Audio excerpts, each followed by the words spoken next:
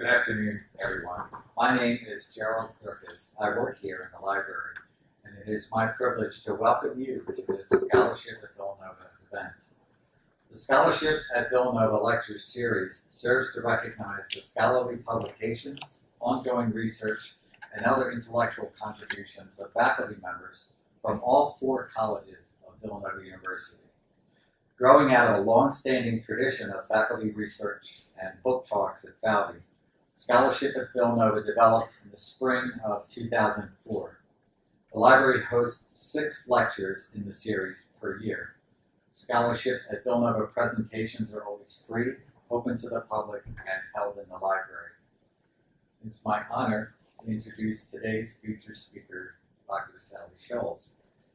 Dr. Scholz is professor of philosophy at Villanova University. She has written extensively on violence against women, oppression, solidarity, and related issues in ethics and political theory.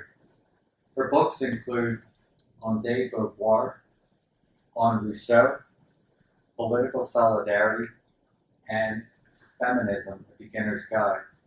She is currently working on issues related to global feminisms and human rights. She is a former editor of the APA newsletter on feminism and philosophy and is currently editor, editor of Hypatia, a journal of feminist philosophy. Dr. Scholz' talk is titled Seeking Solidarity. Join me in giving a warm welcome to Dr. Scholz.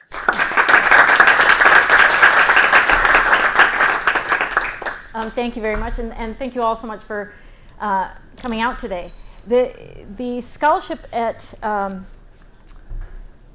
is it Scholarship at Villanova Scholarship at Falvey? Scholarship at Villanova um, series is a wonderful series, and, and there have been some um, truly amazing scholars uh, uh, presenting at it. And, um, and, and actually, I was uh, pleased to be able to present on Solidarity when, the, when my book on Solidarity initially came out in 2008.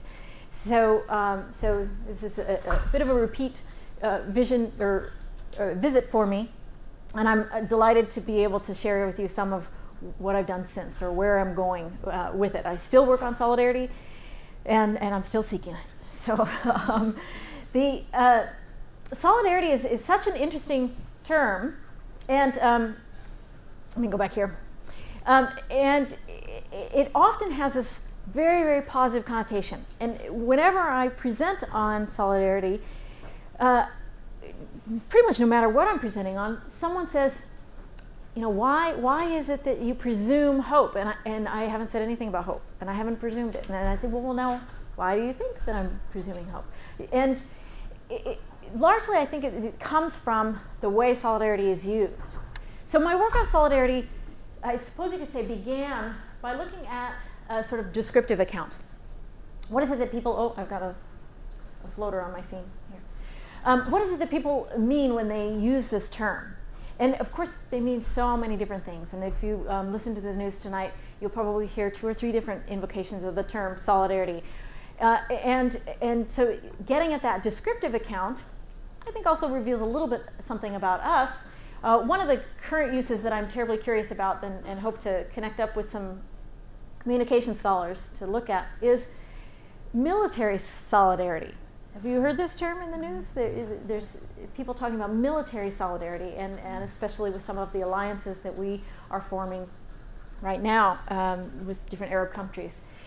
So, so the descriptive accounts only take me so far. And, and at some point, I have to sort of, as a philosopher, throw up my hand and say, well, that's just interesting, but it, couldn't it just be people misusing a word or, or using it willy nilly however they wish? So then I turn to the conceptual. How has this term developed over time, and, um, and what is the history. And, and here uh, I thankfully get to draw on one of the uh, favorite philosophers, um, or one of my favorite philosophers, Jean-Jacques Rousseau. Most of the people who work on solidarity trace the, the origin of the concept, but not the term, to Rousseau. And in Rousseau's writings, you can see uh, all the three basic types that, that I um, work with social, civil, and political solidarity. Now, Rousseau, of course, doesn't um, you know, pull out all of the different variations. Others do that. So Emile Durkheim in, in sociology, I'm pointing to my colleague Rick Eckstein in sociology. Emile Durkheim is uh, credited with developing social solidarity. Um, and of course, he also develops the moral relations of social solidarity. So you can't help but also de- delve into the normative um, uh, with solidarity. What are the moral obligations that emerge when we think of solidarity as social solidarity, civil solidarity, and political? So my early work it starts with uh, an attempt to articulate this, the social ontology of the groups in social, civil, and um, political solidarity. Now, Durkheim already obviously did the civil, or sorry, the social part, so I didn't need to, to do that. But, um, but I did need to, to look at what it means to say a group is in political solidarity and what is civil solidarity. So we, I began with a social ontology, and then I turned to the relations of political solidarity and, uh, and looked at the normative content there. Now, the normative content of um, political solidarity, I started with what, what are the moral relations? How do we conceptualize the, uh, the relationships within a solidarity group that is organized for a particular cause? So, political solidarity is solidarity of social movements, it's the solidarity of peoples united to achieve something. And, uh, and you see it uh, in descriptive accounts, of course, but you also see it in, um, in some of the conceptual uh, framework, even as early as Rousseau. So uh, I began with the question of what are the moral relations, and then what sort of duties do they inform, and that's uh, where I turn to next with the uh, with political solidarity. Solidarity itself we can understand in, in whatever guise it takes as the a unity that mediates between the individual and the community and entails positive duties. So, unlike justice, solidarity actually asks something of us. Now, don't get me wrong, I'm not saying that justice doesn't ask something of us, but there are, are duties informed, and this is one reason why a lot of philosophers, political philosophers, shy away from um, articulating uh, theories of political solidarity. It, it is full of content, or it seems like it needs to be full of content. So I tried to uh, move away from the notion that it has to be full of content, but embrace the fact that we can talk about the positive duties that emerge from our moral relations within political solidarity.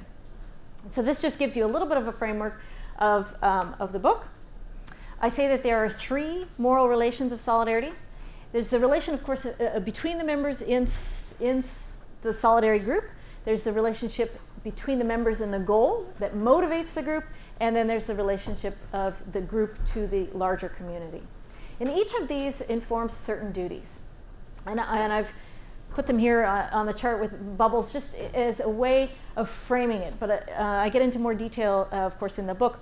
But one thing you can think about here is uh, a lot of people, when they use the term solidarity, they're really talking about uh, the mutuality, that we, we are making a mutual commitment where there's a shared sense of um, uh, uh, of obligation to one another. That each member can uh, appeal to the others and expect the others to appeal to him or her for uh, something. Now, what that thing is depends on the, the particular aim of solidarity. The key um, with, I suppose, all of the relations is that we see our actions as connected with each other's. That um, the actions of the others, even trivial actions, actually might contribute to solidarity or even harm solidarity. So that there's a, a presumed equality here, not just among the members, but also a, among the act, actions that we um, uh, adopt in pursuit of solidarity. Now, cooperation, cooperation can be cast out in a number of different ways, but, uh, but as a, a moral duty of solidarity, I suggest that cooperation means that you're committed to joint activity. And joint activity could be that I see my activity as, as in concert with others, or it can be that we actually organize together as a collective to accomplish a certain goal. So I talk a little bit about these things. And then uh, the understanding is really uh, probably better uh, placed as, as epistemic obligations. What is it that we owe each other?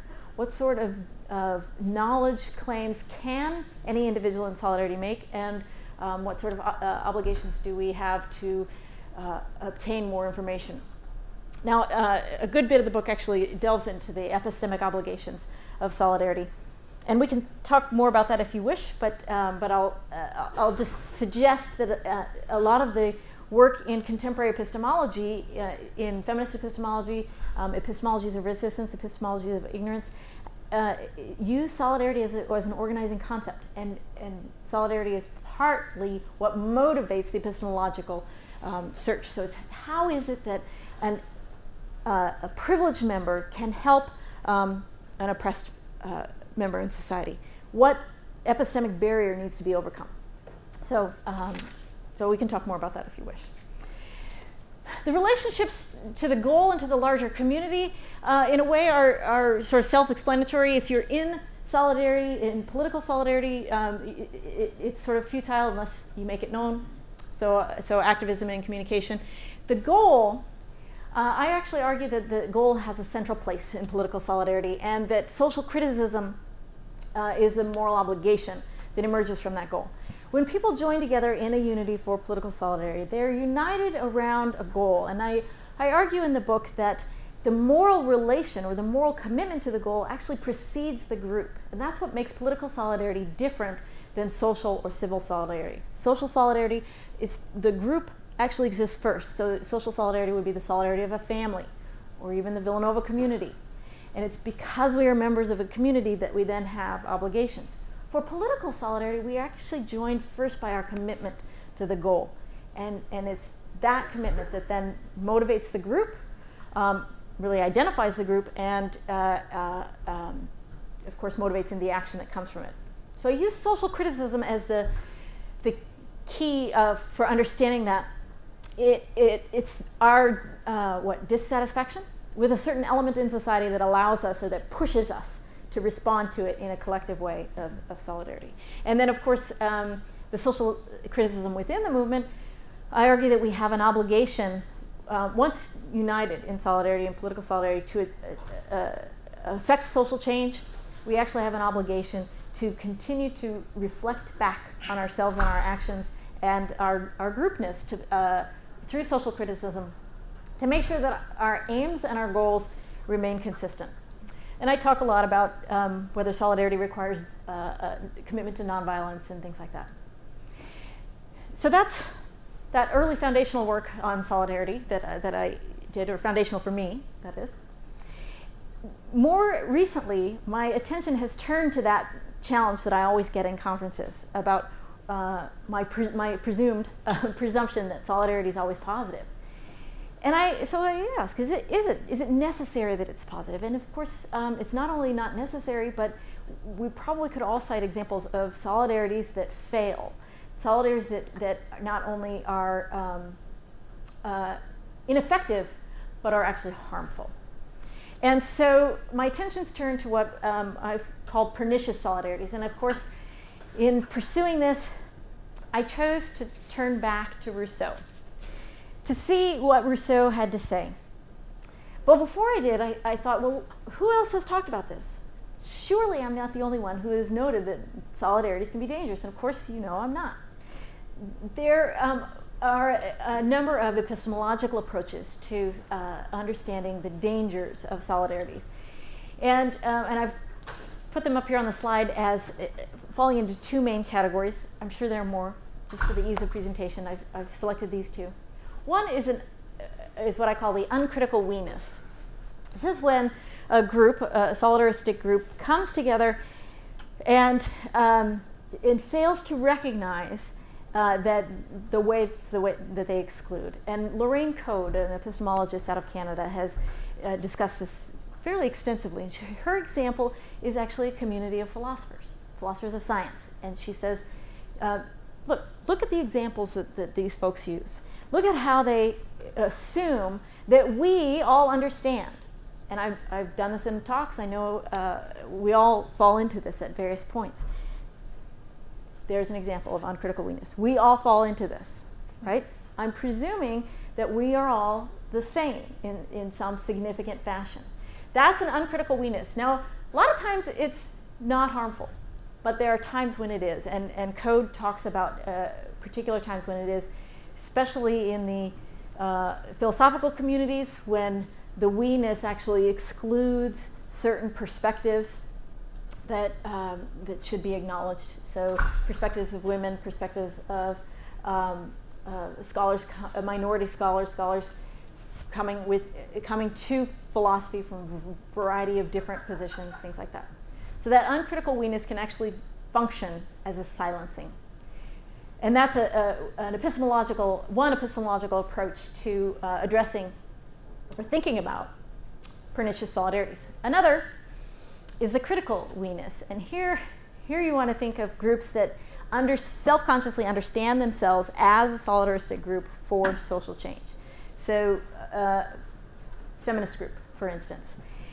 And um, uh, if some of you are uh, gender or women's studies scholars or feminist scholars, then you know that uh, the feminist movement in the United States suffered a great deal of uh, uh, criticism in the, the, late 70s and 80s because, because of their critical we-ness. They used we and us, the terms, to, to um, rally a group. They also used the term sisterhood to say we all share the same sorts of oppression. But in doing that, they actually, of course, excluded uh, those women who experience oppression quite differently. And they fail to recognize the ways that, that they are privileged, um, that we are privileged. And so uh, that critical we-ness can be a self-conscious creation of a, a, social justice group or a solidaristic group that fails to acknowledge its own relation and responsibility for oppression and even the oppression that they um, particularly challenge. So these epistemological approaches are interesting, they're important, there's a whole lot more that I could say about that. But I wanted to use the tools of social philosophy. And so I thought, well, there's, there's something else going along here. I was concerned about the epistemological approaches too because they often are modeled on a particular understanding of solidarity, where it's solidarity of the privileged with the oppressed. And, um, and a lot of times when people talk about solidarity, that's all they mean. They just mean when the privileged join in solidarity with the oppressed. I, I, hear this a lot when, actually, when students come back from break trips and they're, they're talking about their experience and, and being in solidarity with the poor. What about the opposite? What about when the, when the poor are in solidarity with each other or, um, or with uh, the privileged? What uh, can we say there? The epistemological approaches tend to focus on the um, actions or inactions or omissions of the privilege. And I wanted to see if there was a way we could understand this um, perniciousness of solidarity, the dangers of solidarity, not by focusing on the group that's privileged. So I turned to social philosophy and I turned to Rousseau. And, uh, and of course, in, in turning to Rousseau, one can see that the motive for uh, the social contract is in part self-preservation. It's to protect us from vulnerability. It's protect us from the dependency that we get when we are vulnerable to others in the social order, when there are others who are dominant. And so, um, so Rousseau actually talks about two different kinds of, uh, uh, of um, what I call pernicious solidarities, or two different kinds of dangerous groupings that, uh, in some sense, compromise justice and, um, and prey upon the vulnerability of uh, certain people in the social order. The first one I call the, the cabal. And, um, and I'm, I'm sorry, but we philosophers, we read uh, when we present usually, so I'm not, not used to presenting. So now I'm going to default to my comfort zone and I'm going to read to you just, just briefly. Rousseau offers us a glimpse into two dramatically different social arrangements. The society formed by the end of the second discourse is a despotism. Efforts are exerted to weaken assembled men, this, that's his term, men, by uh, disuniting them. The masses of prejudices that have arisen are further fomented by everything that can give society an air of apparent concord while sowing seeds of real division, everything that can inspire mistrust and mutual hatred. That's Rousseau. The chiefs, um, then, uh, are uh, those who have amassed power and made others vulnerable to their capriciousness. But of course, Rousseau concludes that all individuals are once again equals in a new state of nature. This one ruled by the strongest until, of course, uh, he, and it's, in Rousseau it's he, he, is deposed through violence. The other society that Rousseau offers us is the idyllic society of the social contract, um, also apparent in his novel La Nouvelle Heloise and elsewhere in his writing. The unity of the people is the primary factor that makes an idyllic community. Importantly for solidarity studies, this, that unity is based on a commonality of virtue rather than physical attributes. To be sure, he does suppose that the people ideally situated to accept legislation in a social contract are already bound together by some union of origin, interest, or convention. But it is their goodness, rather than their identity, that creates the solidarity of the community. Even this idyllic community includes the potential for harm for some of its inhabitants or for outsiders, and Rousseau recognized that even the best con constitution was unlikely to last. Now, the first of his communities, the cabal, or what I'm calling the cabal, is clearly dangerous. Despotism um, is uh, preceded by what might be called cabals in some contexts and perhaps pernicious solidarities in others. Like the despot, they have as their aim the deprivation of a neighbor's freedom, although their own freedom is also depleted.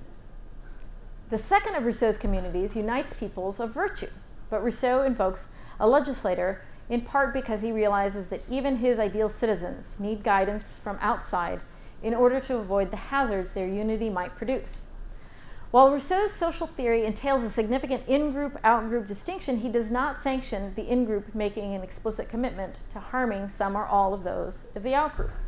He merely recognizes that solidarities can be dangerous, even those uniting the best of the peoples uh, uh, for just ends. So that's my question. Uh, and, and, and Rousseau, of course, has already um, provided a foundation for us or a, a framework. So solidarities are, are, pernicious in two basic ways, as, as, Rousseau has suggested. The first is when the aims or ends of the solidarity are themselves dangerous. These are fully aware appeals to solidarity that delineate clearly articulable borders of group inclusion, uh, often involving identity claims, like Rousseau's cabal of magistrates. Internal to the group, appeals to solidarity are used to maintain or strengthen the group, uh, to shore up commitment among individual members uh, when their loyalty seems to be flagging and the, the example that I use in the, um, the more extended work is actually two. One is xenophobic nationalism, as an example, um, and another is uh, um, the, the KKK in the, in the South. So. Solidarity then is used to demarcate an in group, uh, usually over and against an out group. To be clear, every solidarity has an in group and an out group. What makes the solidarity dangerous in this way is that the goal, aim, or uniting interest pertains to the discrimination, harm, or even elimination of some other group or, uh, or peoples identified by their divergence from the in group. And, um, and of course, we can come up with a number of different examples. Now, some we might be inclined to say, well, well, that's not solidarity at all. But the problem is that it really involves a justice claim. And, and what we have to do is a sort of a, a comparative justice to, to determine whether or not the, the group, whether it's in solidarity, is a separate question to uh, uh, whether or not it is pursuing a just end. And so I'm suggesting that the cabal is, uh, is a group in solidarity, but it's pursuing an unjust end. And, um, and perhaps justice is the best framework then for uh, understanding it and maybe even condemning it, but, um, but nevertheless, we should be aware of it as a possibility for all solidarities that they, they entail some possibility of um, the in group, the solidarity group, actually reifying the out group in a way that is dangerous to that out group. Now, the other is perhaps more interesting. The other type of pernicious solidarity is perhaps more interesting. It's what I call well meaning failures. This is when uh, folks who really mean well and have social justice ends fail. Or, and they fail in a way not to keep the bonds together, which is a different type of failure of solidarity, but fail in a way that causes harm to the, the cause or the, the people that they're actually trying to help.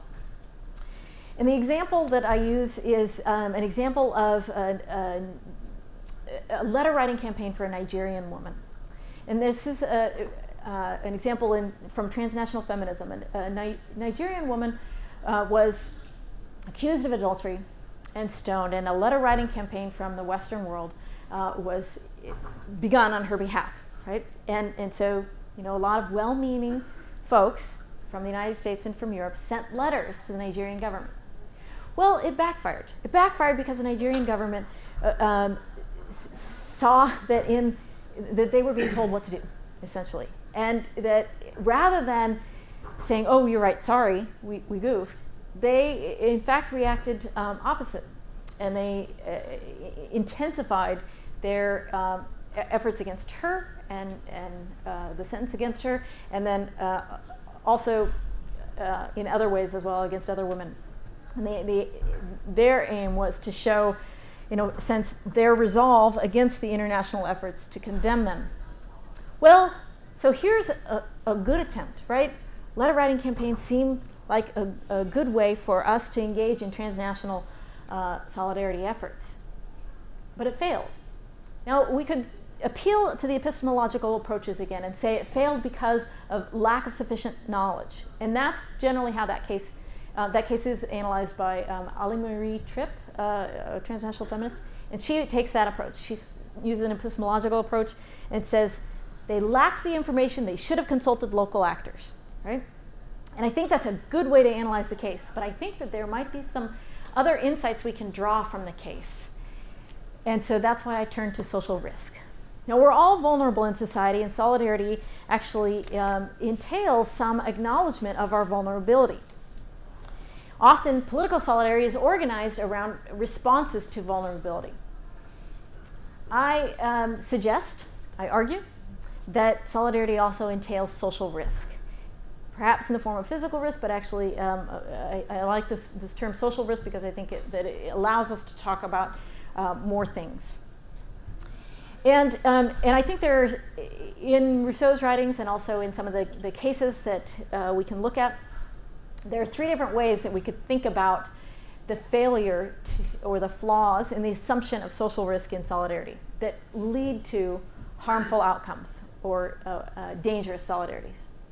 One is this willingness to share social risk uh, is inequitably distributed. The inequitable distribution of the willingness to share social risk indicates that some participants or members are only partially committed to the solidarity. Solidarity in all its forms assumes a willingness to share some social risk, usually understood as uh, social, but physical risk may be implied, and it is expressed by some uh, as mutuality. In other words, I'm, I'm here trying to link some of the positive obligations of solidarity, mutuality, with some of the risks um, of, of a dangerous solidarity. Willingness to share is distinct from actually sharing social risk. Not everyone in solidarity will actually share the same risks. Some participants will be more vulnerable because of their personal needs or their status in the larger society. Others will be more vulnerable because of victimization or oppression. And still others will be vulnerable due to their personal circumstances. These accounts of vulnerability might also um, intersect in a way that compounds the adverse effects in political solidarity. However, each member comes from his particularity and willingly assumes the social risks involved in solidarity.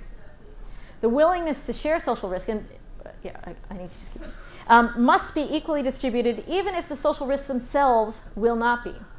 If there is unequal distribution uh, of the willingness, then those who are willing will find themselves vulnerable to, or rather subject to, those who are not. This is captured neatly in Rousseau's description of the purpose of the second discourse. And here I quote Rousseau It is to point out in the progress of things that moment when right taking place of violence, nature became subject to law, to unfold that chain of amazing events in consequence of which the strong submitted to serve the weak and the people to purchase imaginary ease at the expense of real happiness. In contrast, the origin of rights within the social contract is in the freedom of each individual. As Rousseau says, the social pact establishes among the citizens uh, such an equality that uh, all commit themselves under the same conditions and all, uh, sorry, and must all enjoy the same rights. So what goes wrong is that some people are unwilling to assume all the social risks, and so in, in being unwilling, actually hold back their own rights to dominate, to dominate others. Now, that's not to say that it necessarily unfolds as domination, but in solidarity, it, I, I, think that it can unfold as um, harm emerging from the solidarity. The second is that, that um, there are unjustifiable limits to the willingness to engage in social risk. Willingness to engage in social risk may uh, also be limited, causing a solidarity to become dangerous because the risks pertinent to the nature or function of the group itself are not willingly engaged. Within the social contract for Rousseau, the, uh, the contribution is nearly limitless. As he says, as an individual, every one of us contributes his goods, his person, his life to the common stock under the supreme direction of the general will, while as a body we receive each member as an indivisible part of the whole.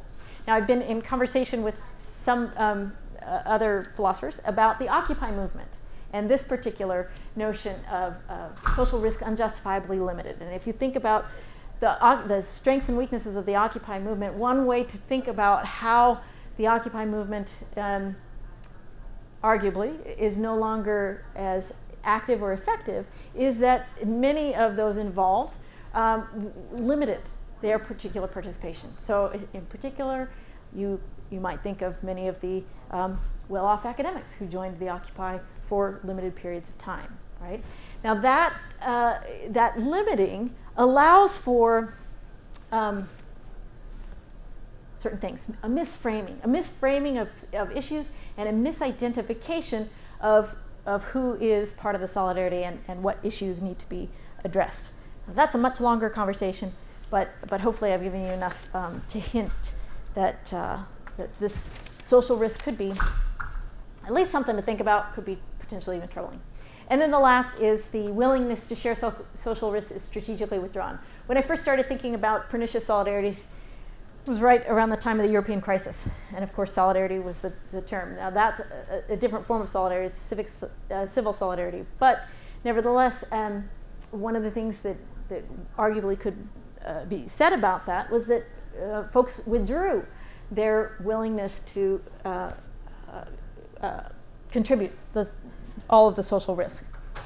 The ability to withdraw one's willingness to share social risk indicates power or lack of vulnerability, at least with respect to some social risk, as well as disregard for the sharing aspect or mutuality.